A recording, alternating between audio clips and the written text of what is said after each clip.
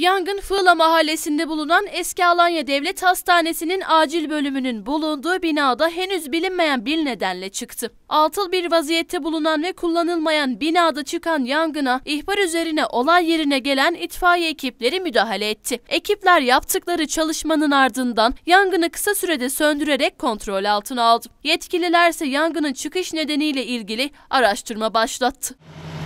Yok.